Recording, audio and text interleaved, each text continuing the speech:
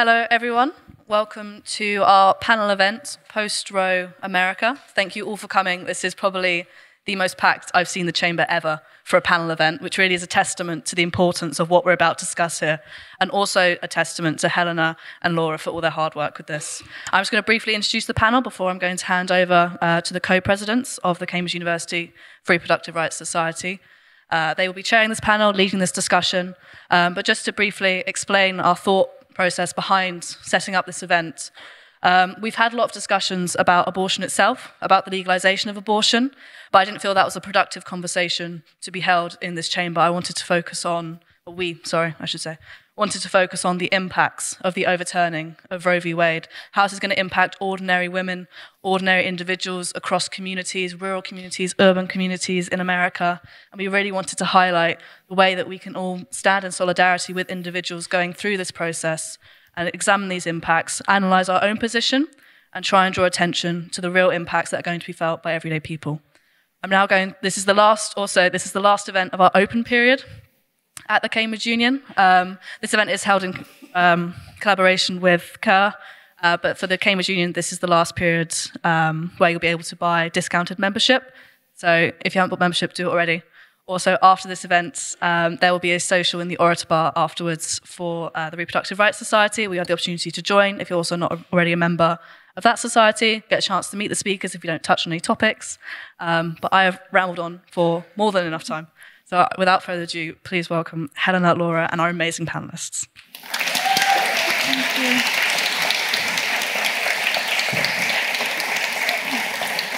Um, is my mic on? That sounds on. Um, I just wanted to say thank you so much to everybody for coming. We had absolutely no idea what kind of turnout to expect from this event. And as Ellie said, this is a huge turnout for an equalities event. So for our launch event, it's really encouraging to see yeah. so many of you here. We'll have a social in the bar afterwards, as Ellie mentioned, where you can buy membership, which is only £5 for life. And all of it goes towards wow. holding panels like this, campaigning, uh, getting transport for us to go to protests, things like that. So, uh, and hopefully making merchandise, which is very cool, will be available soon. Uh, so we only we're a very new society. We only were founded a couple of months ago in the wake of what happened in America, because there have been a lot of pro-life societies at universities for quite some time, and there was never any sort of coherent resistance to them. But although this event is on abortion, and most of what we've done so far is on abortion, we're not only a, a about abortion. We're going to cover topics like IVF, uh, same sex adoption, uh, parenting, uh, contraception, anything that falls under the umbrella of reproductive rights. And all of our events are going to be non-partisan, evidence-based, with experts just as brilliant as these four that I have behind me. So I'll pass you over to Helena, who's going to introduce those experts to you, and then hopefully this will be a productive panel.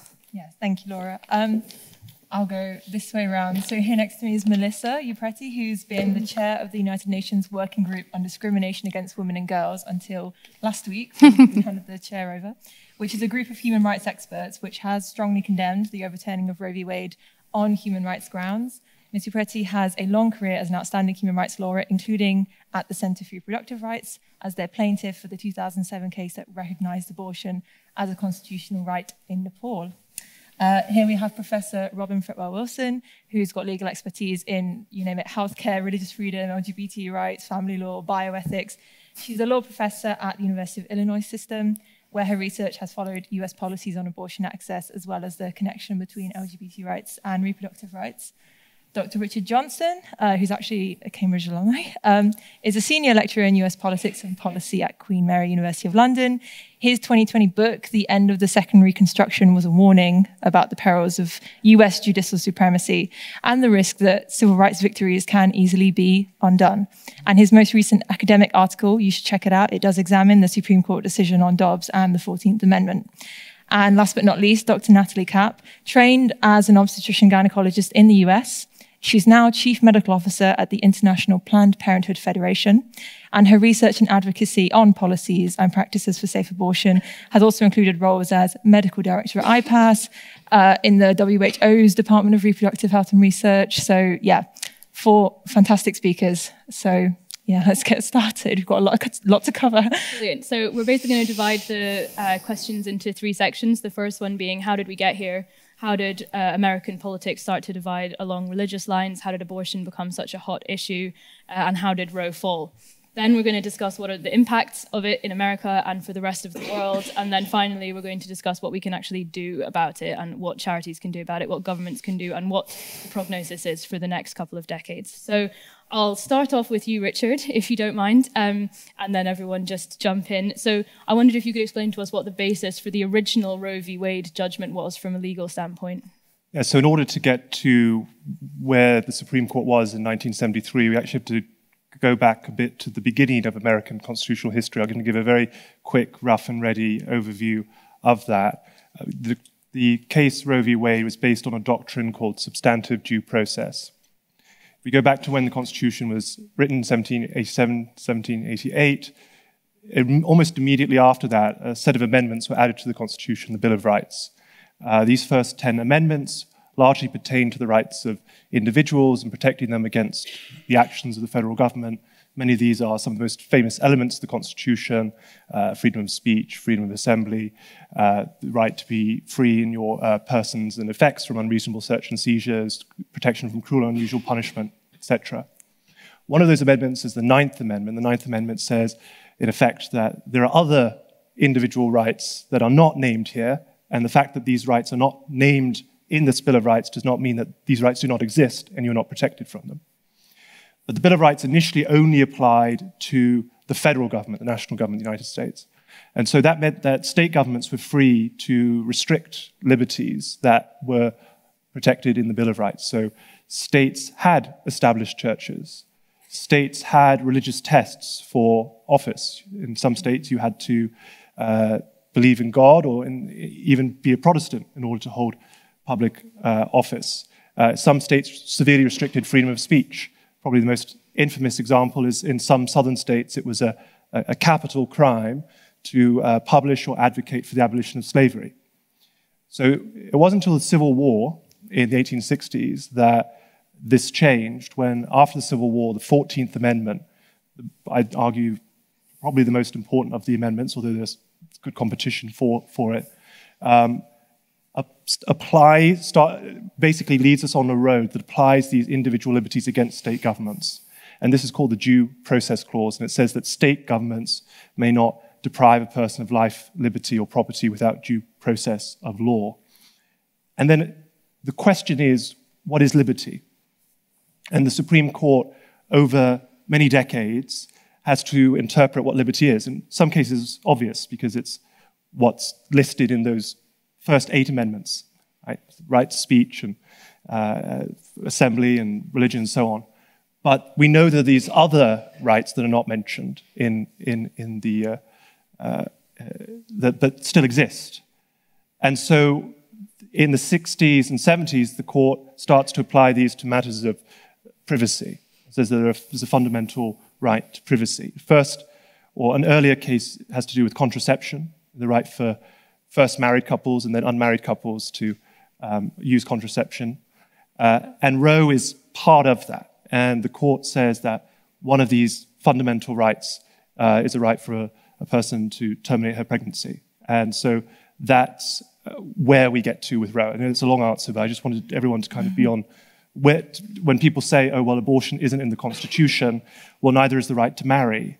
But that is, that's federally protected as well. And it comes out of the Ninth and the Fourteenth Amendment. Mm. So I know we have a fairly international panel, uh, a couple of Americans. I wonder if we could briefly discuss when did abortion become an issue that the general public were so invested in and it become an issue that candidates might rise or fall based on because it certainly wasn't always mm. this much of a politicized yeah. issue. I'll take that. Um, you know, we've become more divided about abortion than we were in 1973. Mm. Um, people in 73 uh, thought that there should be rape exceptions, that there should be incest exceptions, there should be protections for life of the mother. That's a Hyde Amendment term. Um, and we became progressively more divided uh, since then. And I think part of it is the rise of, of evangelicals and the religious right.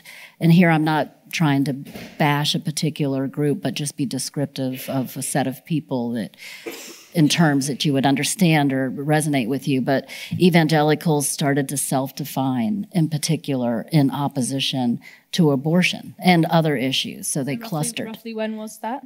well, you 80s, 90s, and, and on. Um, so you've actually seen a fracturing of sort of consensus around abortion, but there's still a surprising amount of consensus uh, among the American people about needed exceptions. And what's sort of ironic is the states uh, across the 50 states don't match up with the intuitions of the American people about what kinds of exceptions they'd like to see. We can talk about why that is. Mm. Yeah, I mean, it's true when you look at polling of just the average voter, um, depending on how you word, how you phrase um, this, the sentence that people can endorse, um, most people think that abortion should be available um, and legal for women who need it. Mm. So, if the polling is like this, how did we get to this position? If the polling is what you said it is, why is abortion now going to be legal in a number of states? What's the mechanisms by which this has happened? Mm-hmm. Well, I mean, if I may add something, if it com- when it comes to the issue of abortion, what we see very often, and this is not limited to the United States and what we're seeing now, but in many parts of the world, the issue is very deliberately instrumentalized, and it's used to advance another, a much larger agenda, which I would describe in very simple terms as being more patriarchal and one that is not respectful of the human rights of women. Um, you know, speaking of timelines, in 1948, when the Universal Declaration of Human Rights uh, was adopted, um, the United States actually played a really important role in that whole process, along with many other states in the conceptualization and in the framing of many different rights. So they have had a strong influence on that framework. That was followed by the uh, formulation and adoption of several core international treaties that actually went on to explain what the different provisions in the Universal Declaration actually meant, uh, what it meant uh, to, you know, how states are obligated to realize that um, every, every human being is born with equal dignity um, you know, human dignity is really the sort of background value or is what really underpins the whole human rights system. And how we realize that as a global community, as governments, as individuals, is in recognizing a number of different rights, a range of civil and political rights, as well as economic, social, and cultural rights. And these are articulated in treaties. Uh, when it comes to women, um, you know, there are many who believe, and I think rightly so, that the Universal Declaration was probably not written with women in mind specifically. You'll see words like brotherhood and you see sort of male sort of references. So this is something that women actually fought for, and there's there was there's a whole global feminist movement. It was really only in Vienna in 1993 uh, during the World Conference on Human Rights, um, and at the end of that year, uh, there was a declaration adopted by the General Assembly which very explicitly recognized women's rights as human rights and violence against women as a human rights violation. So the default has really been to be very, to sort of, has been very patriarchal and one that sort of instrumentalizes women. And that's also man, has manifested through, for example, the criminalization of abortion the criminalization of adultery, the criminalization of prostitution. I mean, criminalize, criminal, criminalization or criminal laws have been used to control female behavior. In many, control, in many countries, abortion restrictions are also colonial legacies. So there are a combination of factors that I think have contributed to a legal landscape where we have seen somehow abortion is, is sort of turned into this very, it's almost like a political time bomb and this, you know, such as when in fact it's it's a simple medical procedure. Uh, having an abortion is actually safer than giving birth. Uh, but the whole narrative has been one that actually undermines um, and sort of seeks to restrict and deny access as a way of controlling women, which then leads to violations of rights and protections that are very clear under international law. And the standards have evolved incrementally over the last three or four decades, I would say. But abortion restrictions under international law very clearly violate women's right to life, right to health, right to privacy, right to freedom from cruel, inhuman, and degrading treatment, right to freedom from violence, and the right to non discrimination, and the right to equality. I'll go, well, I'll say one thing just about how we wound up here. Mm-hmm. Um, I think when Roe and Casey sat there for 50 years, it became very easy for being oh i'm sorry um, planned parenthood versus casey which was a reaffirmation of roe with a, a slightly different framework about undue burden. But when they that edifice was there for 50 years and during that time i think it became very easy in our political system in the united states for people to play identity politics with abortion. And they could pass progressively more restrictive laws, in a sense, only be politically rewarded for them from their base, knowing that those laws would be enjoined, would not have effect in their state. And so it had the, the weird pull uh, to a, a place that I think ordinary people just don't believe we should be. Um, and it just progressively pulled farther and farther to that edge. And that's this case, Dobbs v. Jackson Women's Health Organization. Can we explain how did this case originate? How did it go up to the Supreme Court? Why did they rule the way they did on it? Can I just first add a bit on the how we got here because yes, that that'll lead us to Dobbs. Uh, I completely agree with Robin's point here. I think there's a, the two stories here. There's a state government story and a federal government story here. So in the 60s, a number of states start to liberalize their abortion laws uh, Hawaii, Colorado, New York. And the double edged sword of Roe is it stops those efforts in its tracks because it legalizes abortion across the United States through one decision. What that means then is that feminist campaigners redirect efforts to other campaign activities, at that time in particular, moving on to the Equal Rights Amendment, which was a, an attempt to enshrine gender equality in the Constitution itself. But it's extremely difficult to amend the US Constitution. You need two thirds of the House, two thirds of the Senate, and three quarters of state governments to do so. And each state government, except for one, has two chambers. So it's, it's, it's a tough job. Uh, and that failed. So, in a sense, the counterfactual would be if Roe hadn't come into place, probably a lot of states would have legalized abortion, not all of them necessarily, um, and maybe not as generously as the Roe framework. Uh, but you'd be working with a slightly different lang- landscape in the states. And then what Roe meant, as Robin said, that state governments could have it both ways. Republicans in state governments have both ways. They could pass laws that attacked abortion, which mu- went much further than uh, the general public went, but they would never go into effect. So they wouldn't get the backlash from the general public, but they would get credit from their points for trying core base. Exactly. Um, there's a whole story about the, the shift on the court, but I don't want to mm. monopolize time, so I'll leave it there for now. Can I just give yeah. an example of some of the some of the of uh, some of the ways that played out? are things like waiting times. So, um, you know, a woman wants an abortion and um, she's required to come in to the clinic, see a physician, go through a consent form, um, but then she has to wait for three days before she has an abortion. So these are the kinds of, of laws that the that the states could pass during this time frame that um, that made them win points, but at the same time didn't actually mean that a woman couldn't have an abortion, which would have broken federal law. Yes, the state state legislature is the dog that caught the car, basically, the ones that have banned abortion. Just very quickly before we conclude this uh, section with what Helena mentioned, the Dobbs v. Jackson, I just wanted to ask: Do you think it's fair for people now to be criticizing the Democrats for not having done more to enshrine more protections legally than just Roe being the the main protection for abortion, or do you think that they really couldn't have done much more than they than they actually did? Yeah, I, go ahead, please.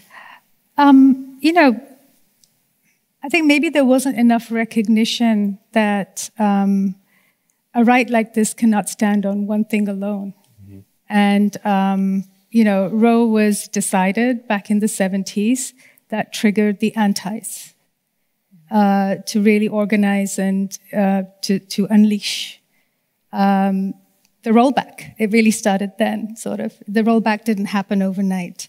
It's a culmination of decades of work. In the meantime, I think those um, who believe that Roe gave them the right, and we, we, you know, a constitutional right was established, there wasn't enough focus on building a whole legal and policy infrastructure, infrastructure around it.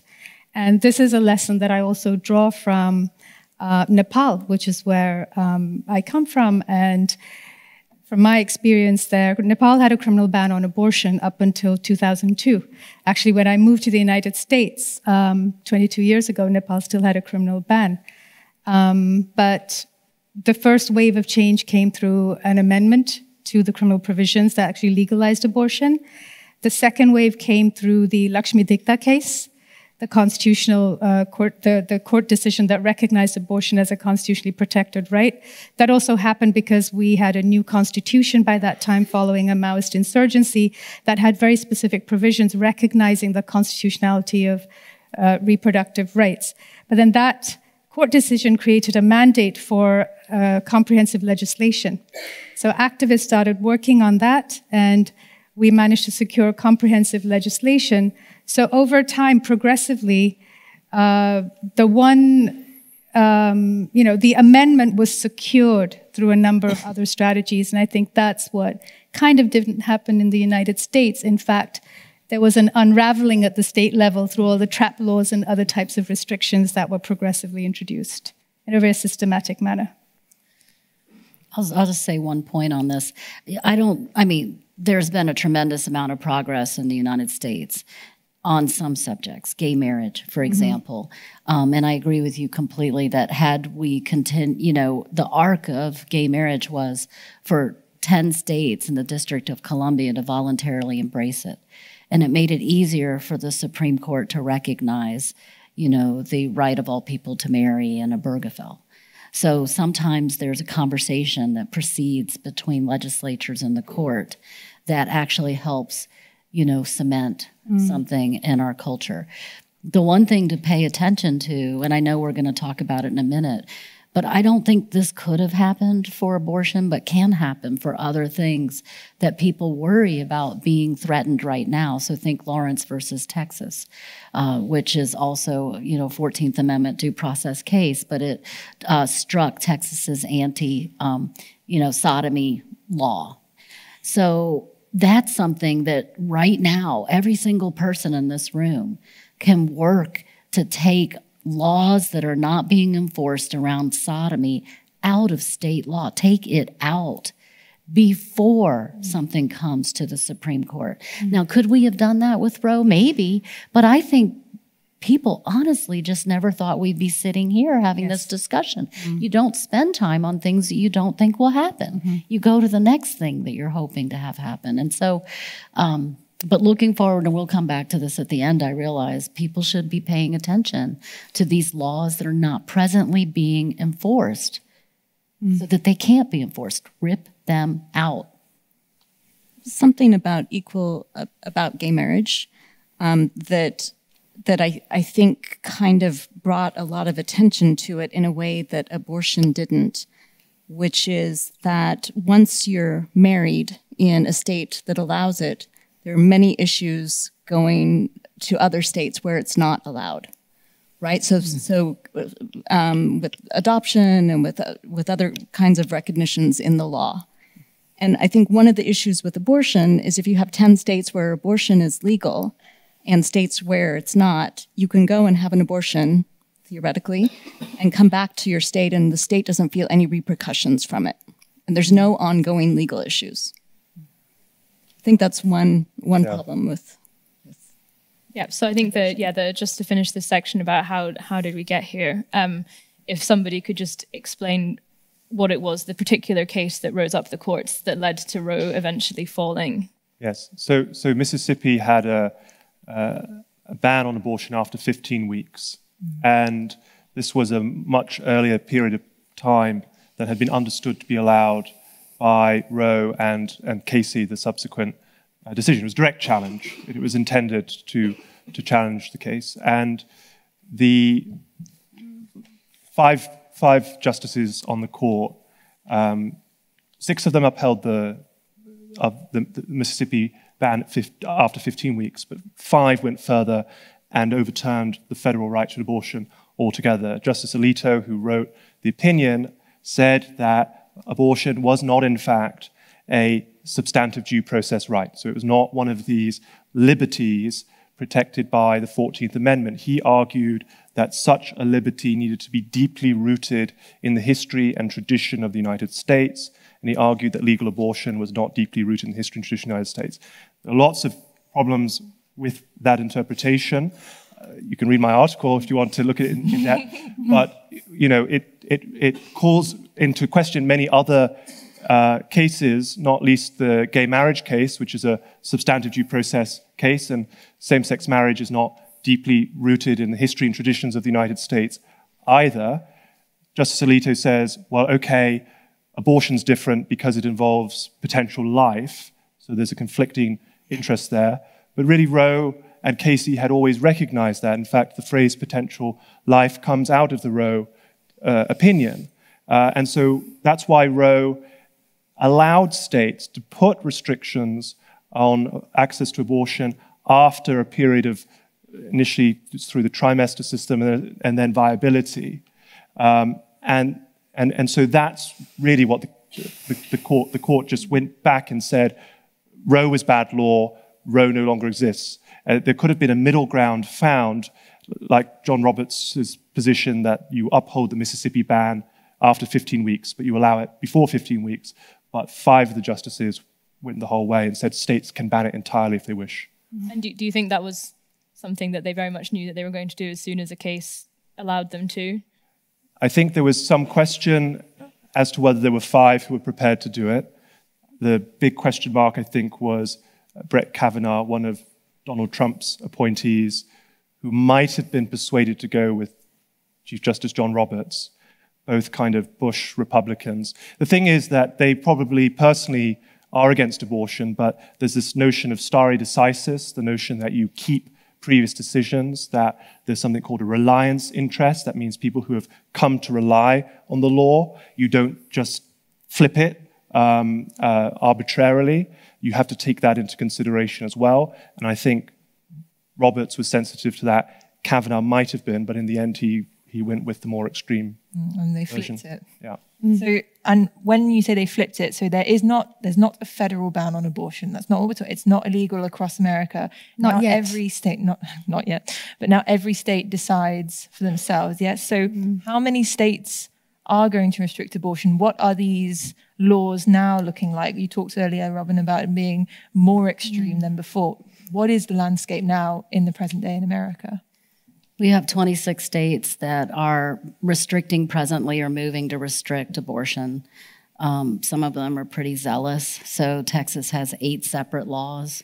They stack up and they all have mm-hmm. different exceptions and scope. And so it's a hot mess trying to figure out what the law in any one state is, yet alone 26. But we sort of coded some of these in the last days. I mean, you have seven states that ha- out of the 26 that are in play. I'm not talking about the whole 50, but you know, seven states that have exceptions for rape and incest out of the 26. One state, Mississippi, only for rape, not incest. I, I can't follow that one.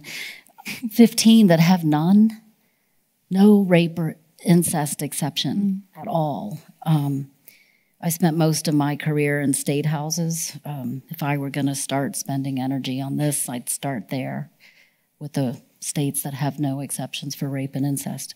Um, we have states that have exceptions for fetal abnormality. That's true in some of the blue states, um, but not all of the blue states, even.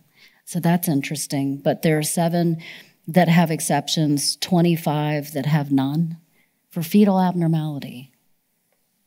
And you have health of the mother, and this is uh, difficult. I'm using Hyde terms, by the way. So mother doesn't mean, you know, only women can be pregnant.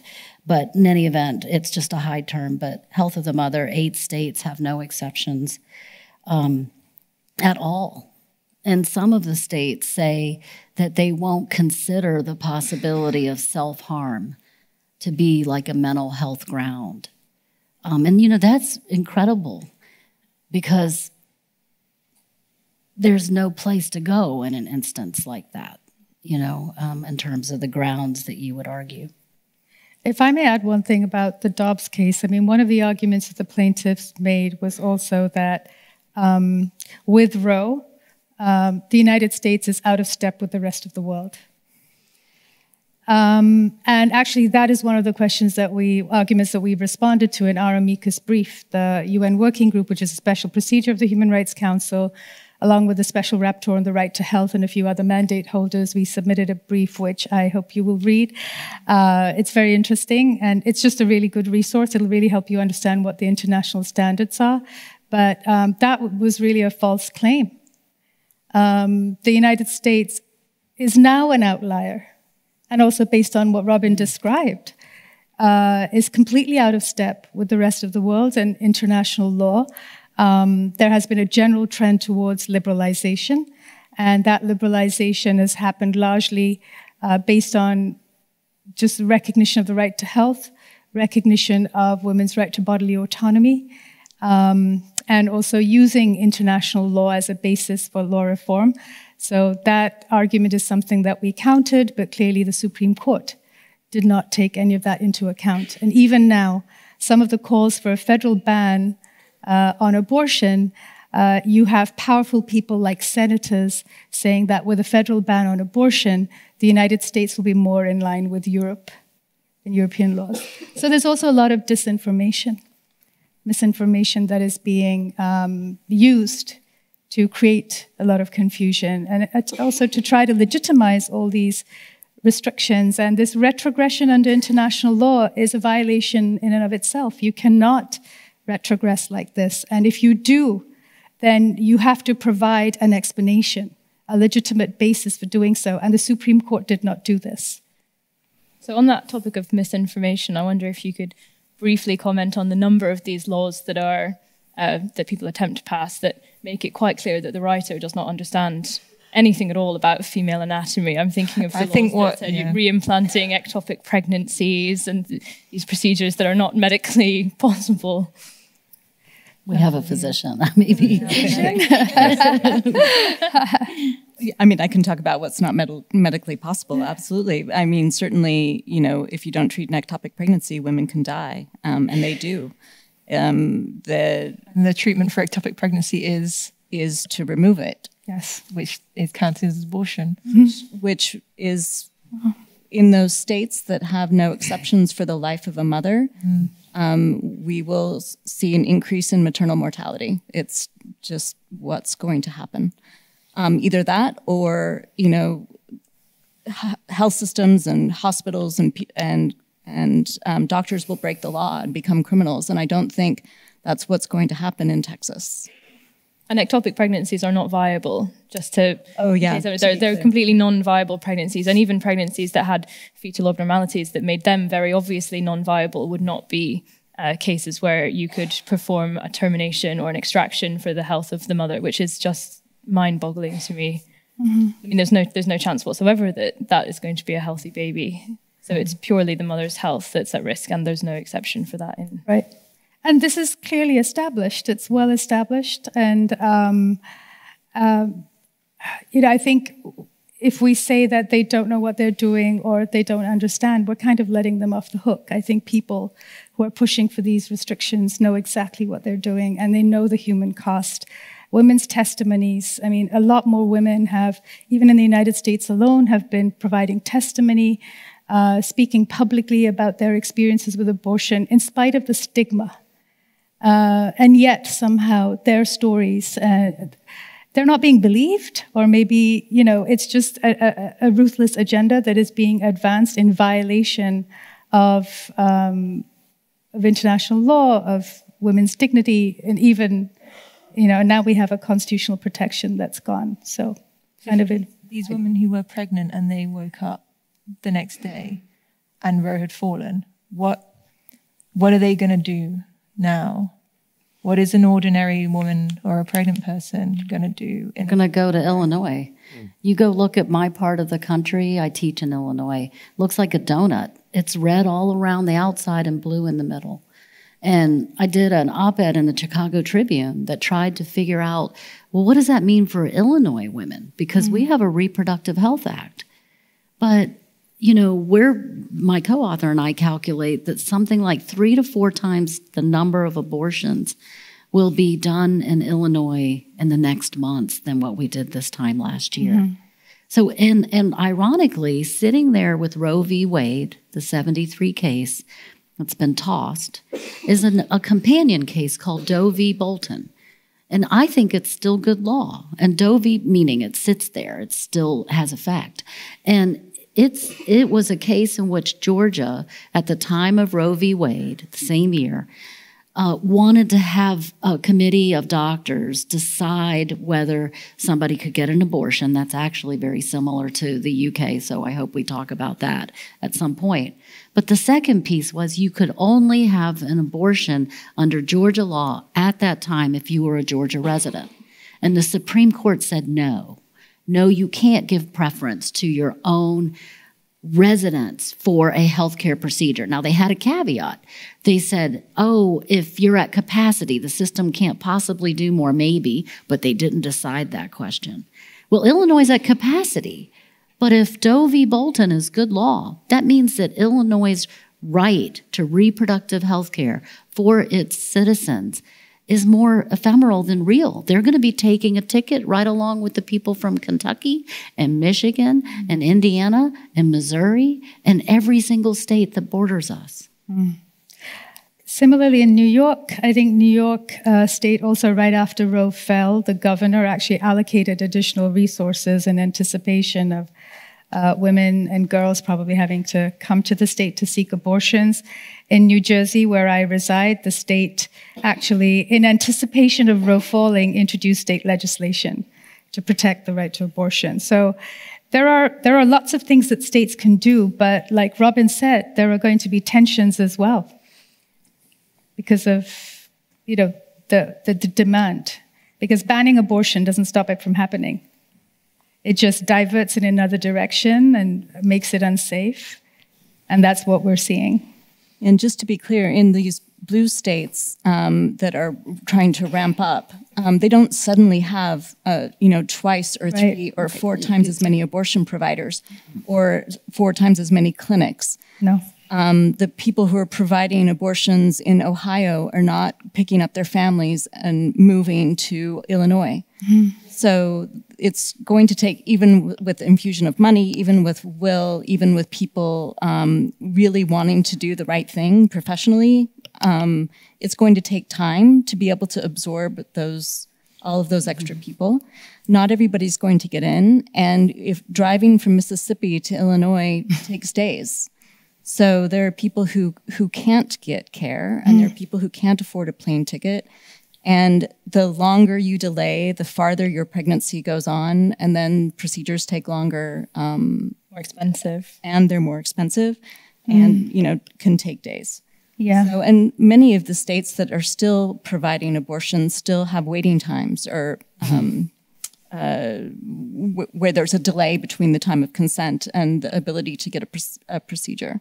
Mm-hmm. Um, I think women are turning to online sources. Mm-hmm. Um, there is definitely some telemedicine, um, meaning provision of abortion pills through uh, a provider online, which is um, frankly not actually legal um, in the states where the abortions are now illegal.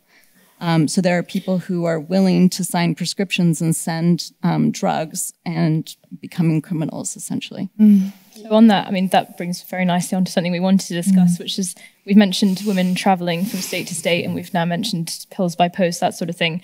I wonder, maybe Richard, you was, this was in your article, if you could maybe touch on what other kinds of rights might end up coming under fire as a result of Roe falling. So I'm thinking of searching mail. I'm thinking of uh, rights to move between states, yeah, so in, in the Dobbs decision, Justice Kavanaugh wrote a concurring opinion. So he, he agreed, but he had his own reasons for agreeing. And I think it was his attempt to sort of soften the line a bit from Justice Alito's really quite harshly put uh, opinion.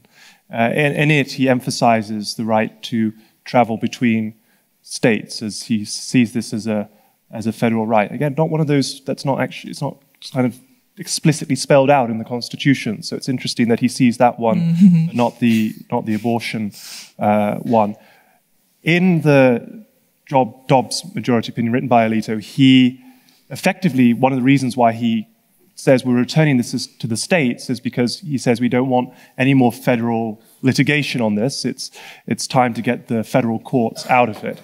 And again, this is a, this is a deceit because there are going to be many federal cases about abortion now, even more so, many more so than when Roe was in place, because these questions about searching the, searching the mail, telemedicine, being able to move between states, can states prosecute doctors who are registered in their state but then go to another state to conduct the procedure, right? These are, these are all going to become live legal questions in a, in a way that they weren't simply under Roe.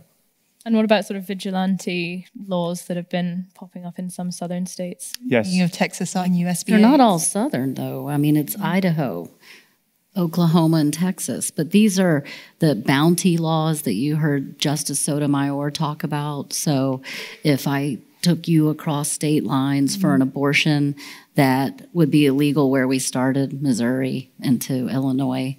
Um, you know, I could be sued by you just you, uh, because you somehow learned this. Private um, citizen, yeah. Private citizen army. I could be sued by all of you, Mm-hmm. and all of you would get your attorney's fees and ten thousand dollar bounty from me for helping her. Multiple with people her. can sue one incident. Yeah.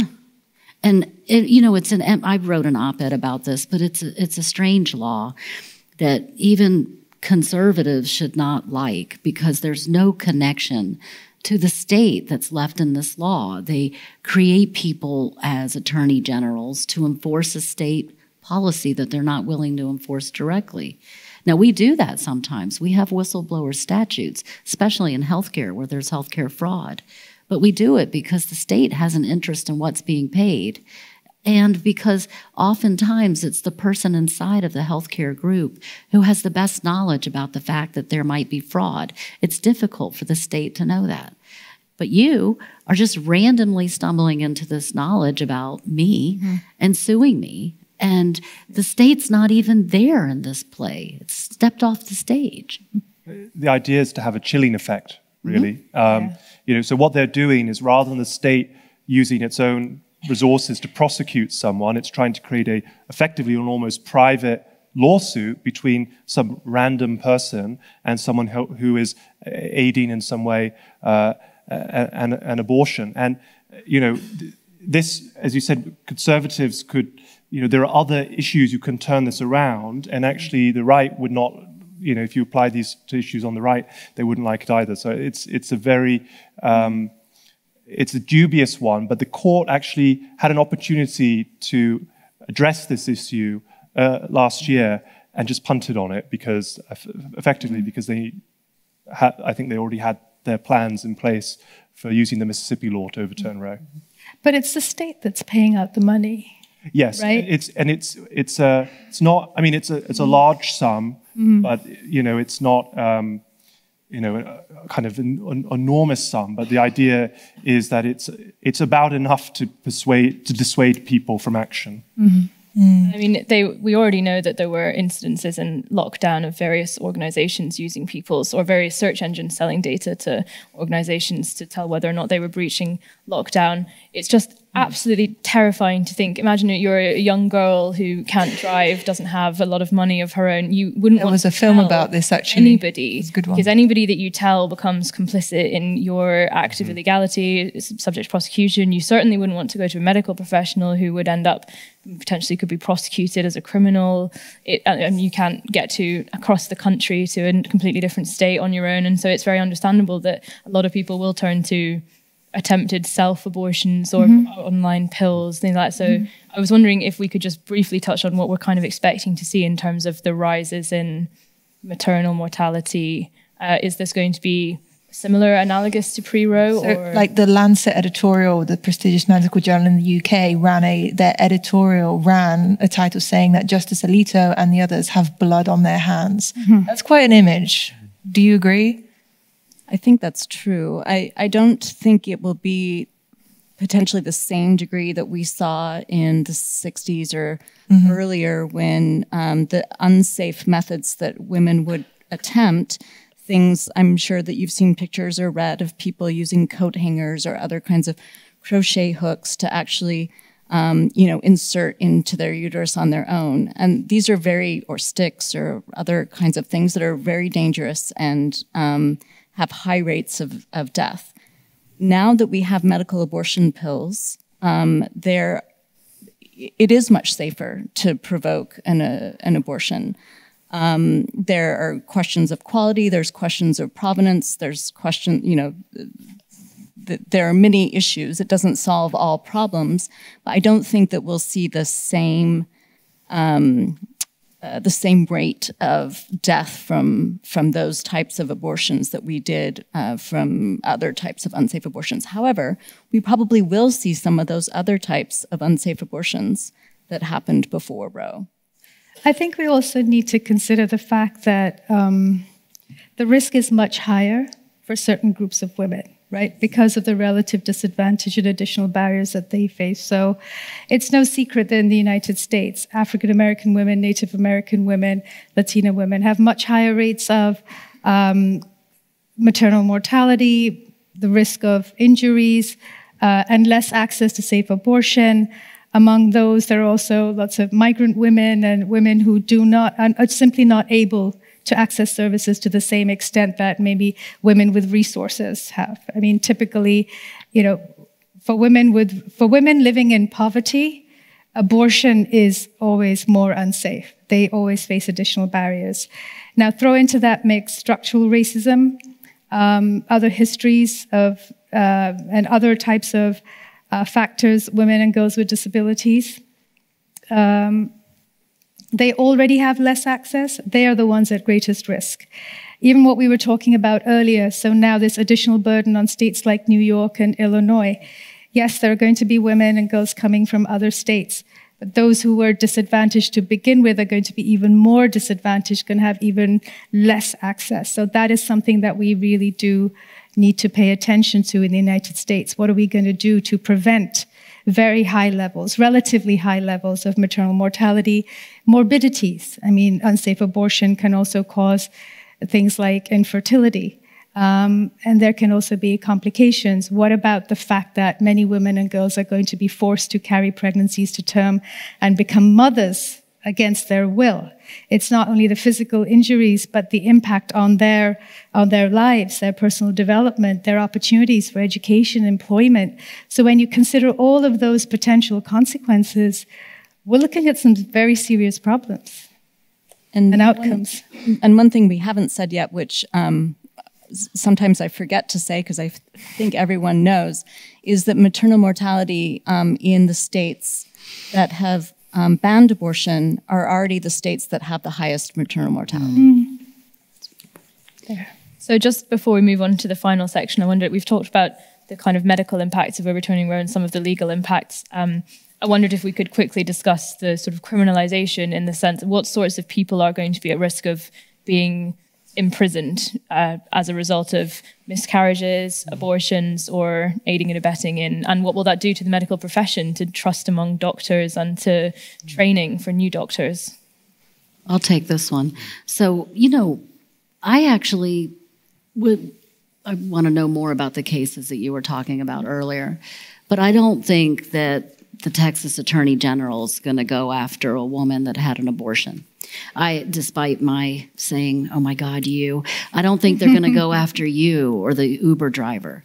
I think what's going to happen is they're going to look at the claims payment managers at large insurers.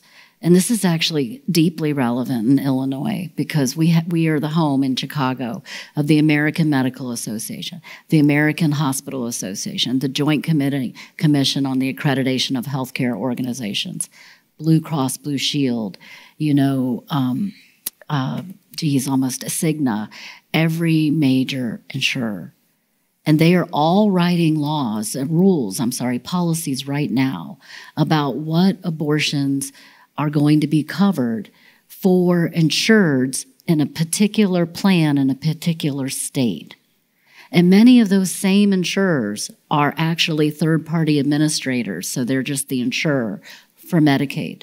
And right now they're in a vice because federal law, the Hyde Amendment, um, which was about it's a, an annual rider that is in our budget that has always been sort of pro-life in the sense of saying that even though federal dollars can't pay for uh, abortion, it, they must be there to pay, or they can be used to pay for abortions in cases of life of the mother, rape, and incest.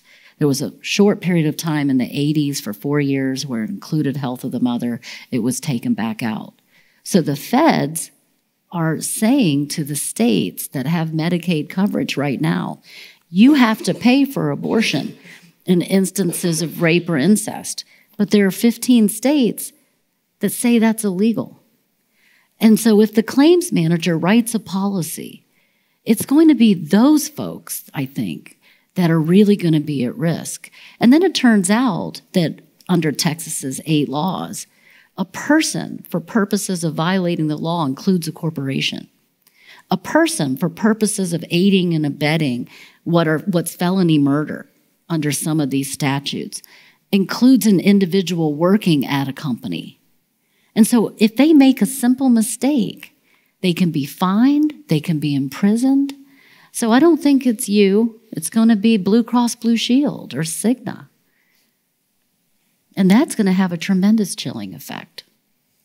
Do do you not think that they will also prosecute providers? I do. I mean, I'm not trying to dismiss that, but I'm just trying to think. So I started trying to calculate the fees, the fines. They're $10,000.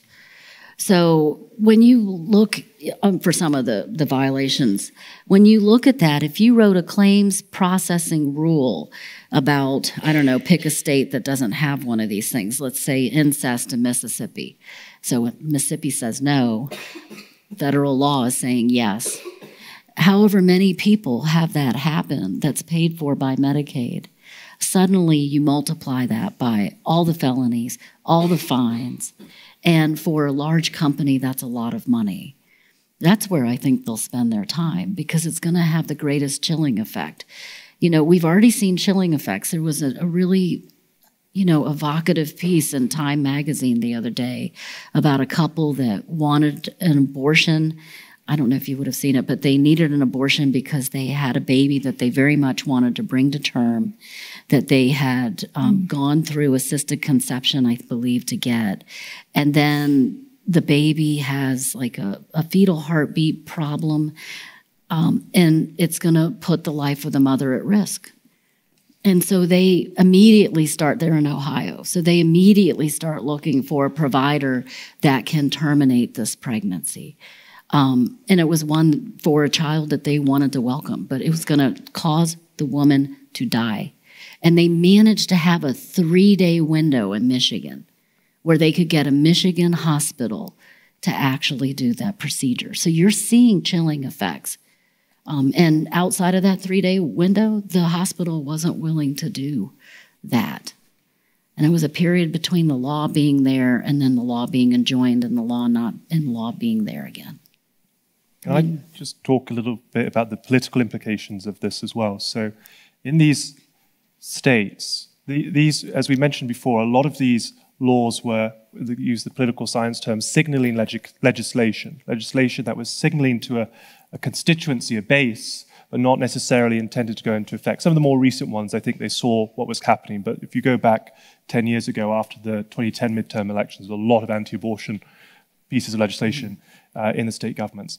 The thing we have to remember is that consistently polls show that fewer than a fifth of Americans support total ban on abortion. Mm. It never, never gets above 20% in, in, in the polls. A third of Republican voters are uh, in some form pro choice. Um, but the Republican representation is much more anti choice. So there's not a single uh, pro choice Republican in the House, and there are only two in the Senate. And in the state legislatures, it's, it's a similar, perhaps not quite as extreme, but a similar pattern. These laws now are, they may be popular with particularly Republican primary voters, but now that they're in effect, there's a potential of a backlash against some Republican state legislators, and they're going to have to make decisions about now what the real consequences of the laws that they once supported mm. are. And it would be interesting to see if some actually have a change of heart. Do you think we might see in the midterms potentially some indication that this issue is a, a, real issue, more than perhaps voters thought that it was before they saw the consequences of what the what the laws would mean? And and going forward, I think not just thinking about it just in this immediate term, but actually in terms of what Republican candidates do in primary elections and what they do in general elections. And uh, I, I think that one of the obviously we've been a very doom and gloom panel. So. One of the potential um, things to, to keep an eye on that's not as doom and gloom is that potentially pro choice voices within the Republican Party might become a bit more vocal than they once were. Mm. I want to say one thing, though, about the midterm. So, you know, we have kind of mixed signals, even at the short period of time that we've had. Kansas had a referendum, mm-hmm. um, which would have amended the Kansas Constitution to ban abortion. And it's just, you know, resoundingly trounced. Okay, so that's a hopeful note. And then you have Indiana that passed like the 56th law in the last few years. Um, and it's, you know, it's restrictive, but in the course of that, um, the back and forth over that law, it progressively became more uh, less restrictive, let's just say. Mm-hmm. So I think the difficulty with this feel with with with the anger actually showing up in these elections is that none of the elections are as focal as Kansas. Kansas was like a straight up vote on an amendment to the Constitution. So people have to say yes or no. But the rest of our elections are about lots and lots of things, like our economy, you know, and, and all the other issues that people care about. And so the straight up vote isn't there.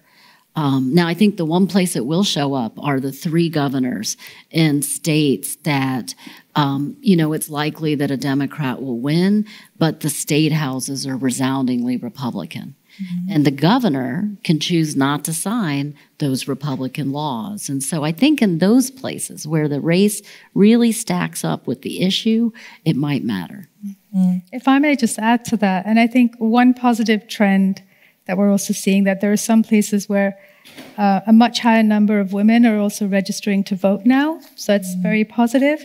But at the same uh, time, there's been such a lot of manipulation around voting rights that there have been many successful attempts to actually make it more difficult for people to vote.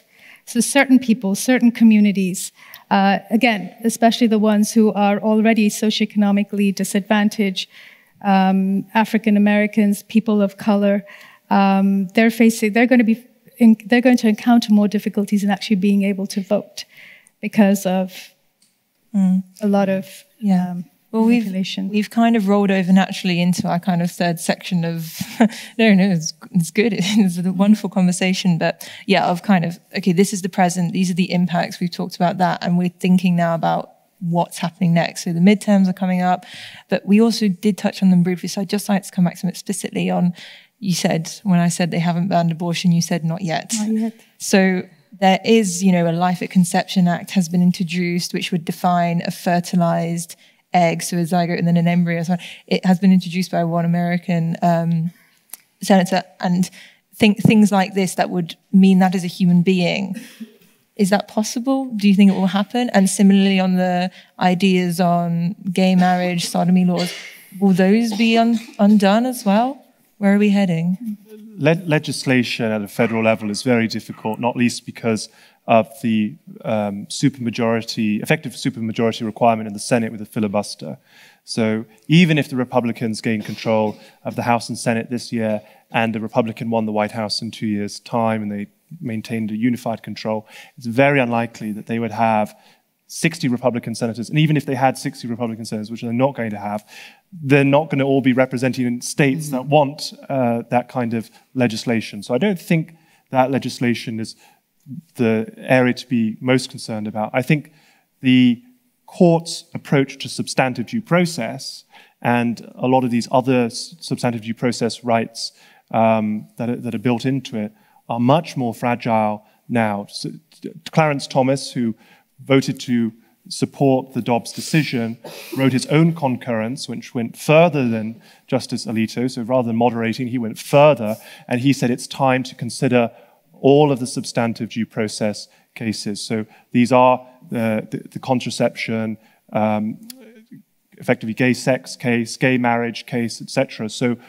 these are now in the firing line in a way that was unimaginable a year ago, but to be honest, the Dobbs decision was unimaginable five years ago. So I think we have to be alert to that. Yeah, I think if the fall of Roe has taught us anything, is that not to be complacent and anything is possible. Um, it is important to focus on the fact that the Women's Health Protection Act, which has made it through Congress twice, which would provide protections for abortion and a whole range of reproductive health services. And that's the other thing. You can't just look at abortion alone as a, it's not a standalone issue. It's connected to a range of things, access to contraception, maternal health care, and uh, many other things as well. So there has to be a strong focus on getting that through. So how does that get it passed into national law? It really is through um, the legislative process, and so voting counts. So, what voters do and how they vote, the people that they choose to represent themselves is going to make a huge difference. And that's going to determine whether or, you know, whether a federal ban on abortion comes into place or the women's, something like the Women's um, Health Protection Act comes into place. The United States is also one of the very few, I think, one of the few countries in the world, when you consider its resources, um, does not have federally mandated maternity leave. It doesn't provide, you know, there's no law mandating maternity Women who have are forced to carry pregnancy to term may not even get maternity leave. Most will not. Yeah. Yeah. Yeah. So um, yeah, what you said brings us nicely on to I think our final question because we want to have some time for audience questions after Mm-hmm. that, which is I'm sure something you might all have your own perspective on, which is just what what do we do now? What are the what is the route to clawing back some of these rights and freedoms that have been lost through Roe, both on the sort of state level, uh, the international stage, uh, the federal level, and on sort of a more grassroots campaign level, uh, including what are some of the arguments that you think sort of work best when you're when you're discussing with somebody uh, why the morality of abortion might be less important to discuss than the real world consequences of what bans do. Well, I just want to take a dissent to Richard's point um, for just a second. Congress doesn't do anything. Okay, so just don't worry about this. Um, I would say that the states are where all the action is, honestly, on many, many issues. And I want to dissent to, I don't know what Clarence Thomas was thinking when he said that. Ironically, the man did not mention interracial marriage, even though he's in an interracial marriage. So bracket that for a second. But I don't believe that things like gay marriage or contraception are in the crosshairs. Okay, the Griswold case about contraception, which preceded Roe, still sits there as good law. And it was grounded in the privacy of the marital bedroom. Okay, so I just don't see these things at risk. If you go look at Obergefell, our national gay rights decision, it stood one foot on due process um, and the right to marry in those lines of cases, one of which was, in fact, Roe. But the other was equal protection, that you can't make an explanation for why two men or two women married should not have the same protections as people who are opposite gender. Um, and and unlike become the fracturing that we've seen progressively over time around abortion since Roe, we've only become more united in the United States about gay marriage. Mm. Now, the way forward, I think, is to take a page, steal the playbook from gay marriage, and actually try to humanize the need for abortion in ways that even Republican lawmakers are going to respond. And you have to remember that those 10 states that enacted same sex marriage voluntarily, before the court told them they had to do anything, and the District of Columbia, often the people who were choke points, who held the deciding vote, were Republicans. Go see New York Senate. Republicans enacted that law. So, what it took to get them to see the humanity of couples that wanted the protection of law, that same kind of argument has to be made here. about rape exceptions, incest exceptions, life of the mother. Well, that I think is guaranteed by the 14th Amendment. I think hopefully we can agree on that. Um, but the rest, not so much. So we're going to suddenly have to argue to people that we probably don't share very many priors with why they need to do this. I agree with humanizing. Um, stigma is a huge issue with with abortion, and I think, unlike um, the movement for gay marriage, where there was definitely a push for coming out and letting everybody know in your life um, that you're out and you're proud. Uh, that really brought home to people that they knew people who were gay. And I think one of the issues with abortion is people don't talk about their abortions. And statistically, in the States, one in four women, and, and recently, it used to be one in three women had had an abortion. That means that in this room, many, many people have had abortions, and we need to talk about it. We need to advocate about it. We need to have panels like this. Um, and everyone needs to advocate, and that includes for my group of people, um, providers and obstetricians, gynecologists. It's a, a critical part of our profession and a way that we keep people healthy and, um, frankly, alive.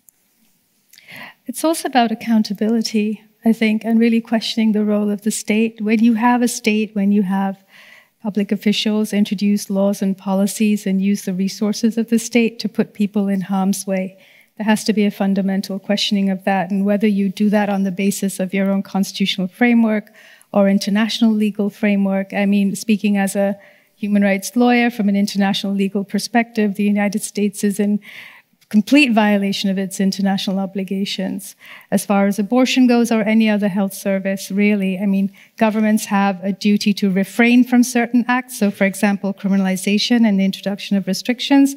They also have positive obligations to ensure access to healthcare, the availability, affordability of services, to ensure that a health system exists that can provide access even to address abortion stigma.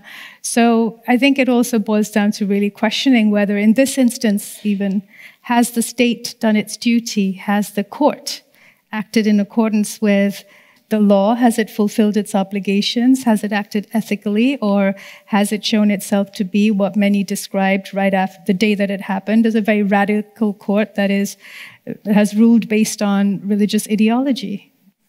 So I think that approach has to be fundamentally questioned because for the longest time, people had a lot of faith and always thought at the end of the day, the institutions are strong and our rights will be protected. But if, what Roe has also shown us is that our institutions are not as infallible as we thought they were, and we cannot rely on them alone. Can I say one word about international law? So it would matter here. It doesn't in the United States. It just doesn't. I mean, we're the only country in the world that has not ratified the UN Convention on the Rights of the Child. Somalia has. Okay, Yemen, all kinds of countries have said this needs to happen. And I picked Somalia and Yemen for a reason. They were the last two, immediately last two ratifiers of the convention before the United States, which stands alone now. Mm. So we are incredibly isolationist. Um, and I love what you're saying about, mm-hmm. you know, international law and we should pay attention to it. Mm-hmm.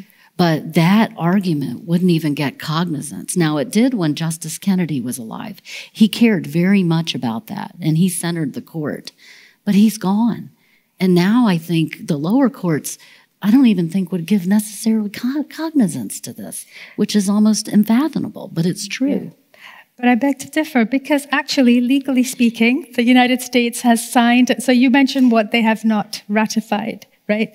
But they have signed and ratified the International Covenant on Civil and Political Rights. They've signed and ratified the Convention Against Torture, the Convention on the Elimination of All Forms of Racial Discrimination. They have signed CEDAW, the Women's Convention, CRC. They haven't ratified it, but, you know, once a government, once a state signs a convention, they cannot do anything that defeats the object and the purpose of the convention. So what they are doing is blatantly in violation. Politically, yes, in the United States, there is a very high level of exceptionalism. And there's a public discourse and a narrative where international law is disregarded.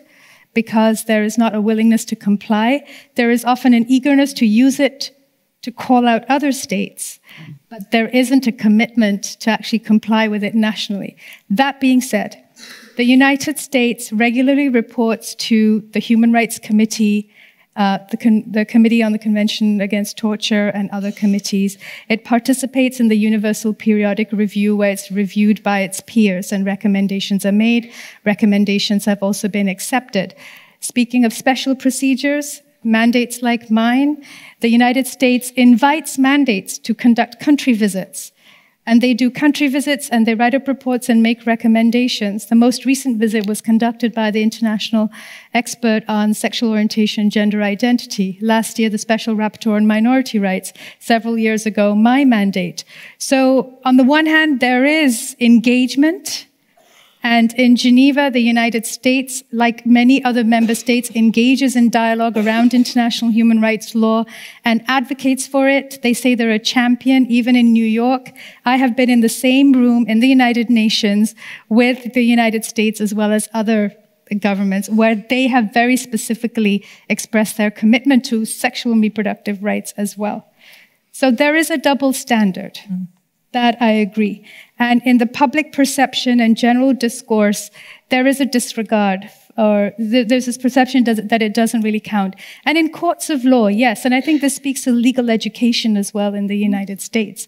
In law school, it's taught as a just any other subject, but even when it's taught, there is it's taught with this um, in the spirit of with the spirit of exceptionalism as well. Not that this actually applies, although the United States engages. So it, it, really is a mixed bag. I think those who want to use international law, and there are advocates who do use international law. I mean, even Ruth Bader Ginsburg wrote about it. There are Supreme Court cases concerning uh, death penalty for juveniles, imprison, life sentences for juveniles, and also in relation to affirmative action, where international law and legal standards have been brought to bear on those cases by the courts. So I wouldn't say it's completely irrelevant, but um, maybe it has to be invoked more. Yeah. And Those in a strategic Kennedy way. cases. We heard. Yeah.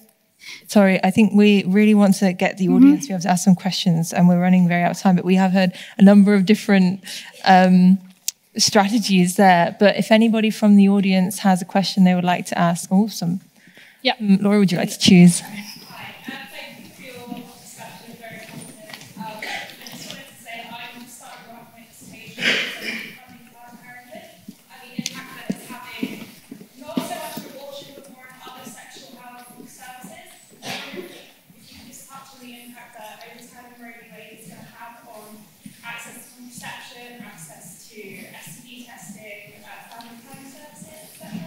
So services by Planned Parenthood?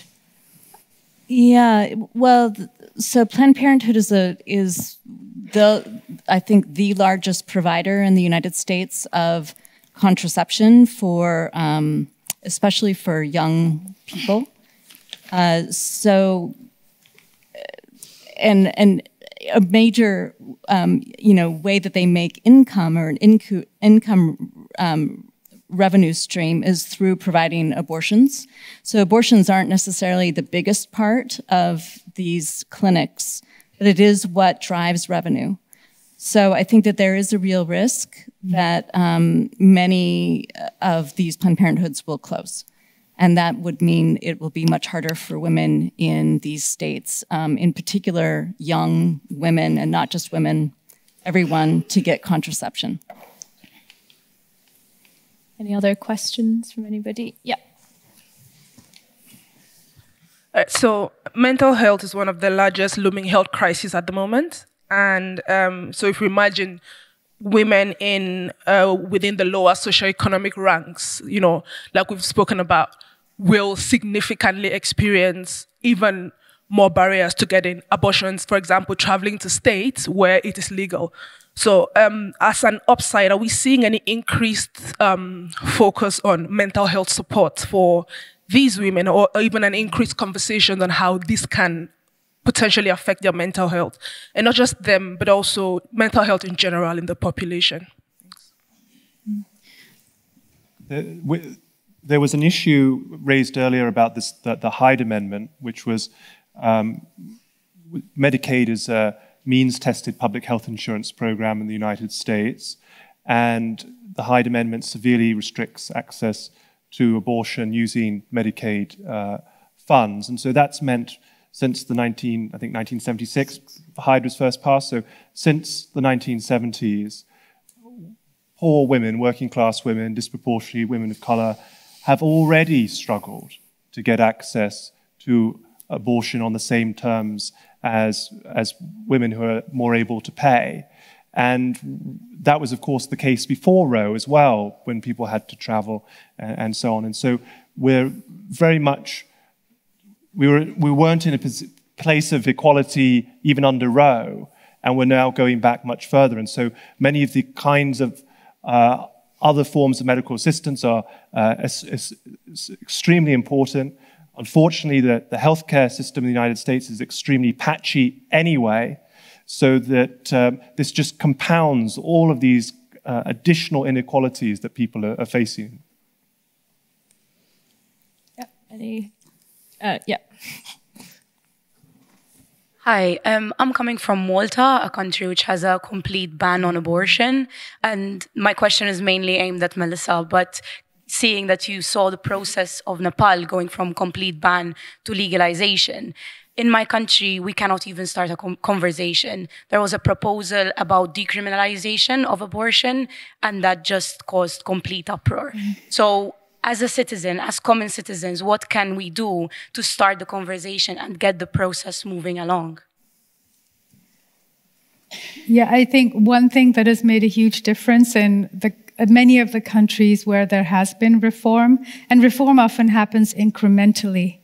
Um, I think, you know, we would be extremely lucky if abortion was decriminalized overnight in a country where it's been criminalized for so long, right? Um, but I think social movements are very important. Uh, public education is very important.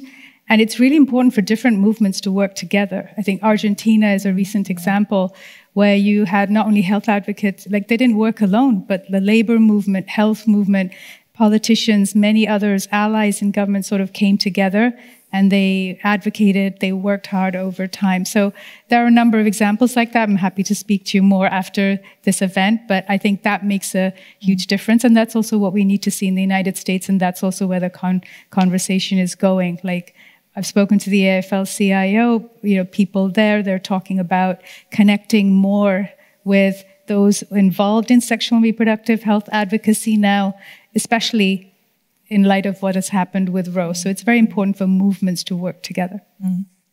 I'm going to go with this gentleman who's been trying to get my attention. um, is there anything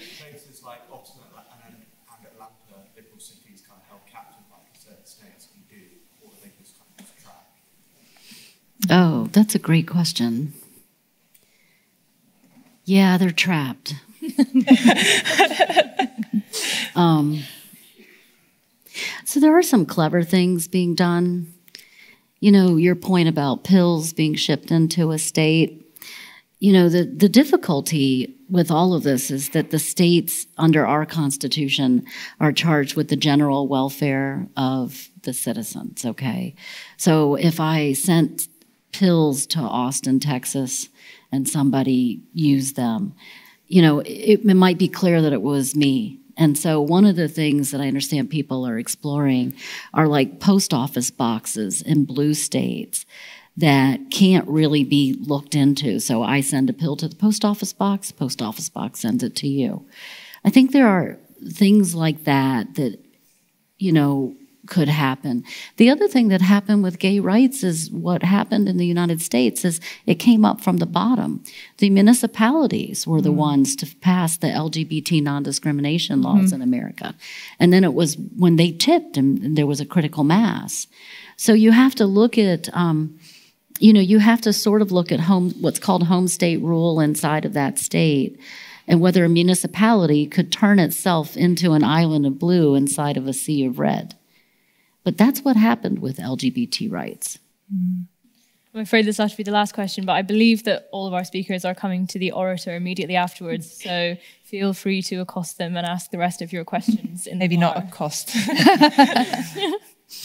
um, we've spoken like a lot about the impact on America, but um, what's been missing from this is about the impact on the international stage and, for example, us here in the UK, because I don't think it's um, an exaggeration to say that America has massive world power, yeah. not even just legislation, but soft cultural power. Um, where where is this leading for us? What does this mean for abortion rights internationally, nationally here in the UK, and for sort of the feminist movement as a whole, you might say? I, I can quickly respond to that. It's very bad, and it has emboldened uh, opponents, and we're, we're already seeing the impact of that uh, at many levels, including at the Human Rights Council. There's a much stronger presence of anti, um, not just anti-choice, but anti-gender equality. You know, a lot of issues are being brought together under one umbrella now. So I think we're facing bigger challenges because uh, those forces have been emboldened. They are already very well organized. They are very well resourced. And actually, a lot of the money, I mean, there have been investigative reports done by Open Democracy, and there are other sources as well that show that a considerable amount of funding also comes from, originates in the United States. Mm. So we are facing more challenges now. The backlash is even stronger. I would say it's been taken to another level altogether.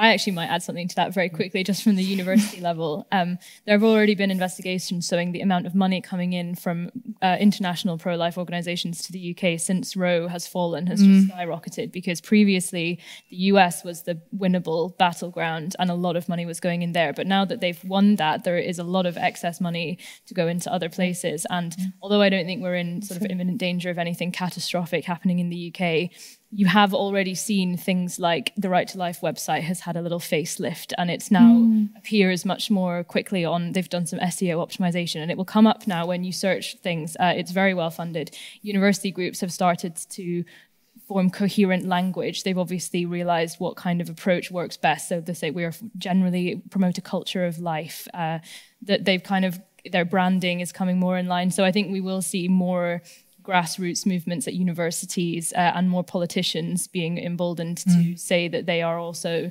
pro-life, whereas they probably wouldn't have been so likely to before. And if I may add just to that as well, mm. we are also seeing US-style protest tactics outside clinics. We've had a lot of mm. work done that, and I think it was just yesterday that Bournemouth, for example, got a uh, buffer zone around its clinic. But yeah, there are certainly tactics that worked in the US are going to be exported and and on the good side, one concrete uh, thing to have come out of Roe is our society. So I think we will have to end there. Um, but um, yeah, so we're going to end there for now. But I'd just like to thank our speakers and thank you all for coming, but especially to our speakers for coming. Yeah.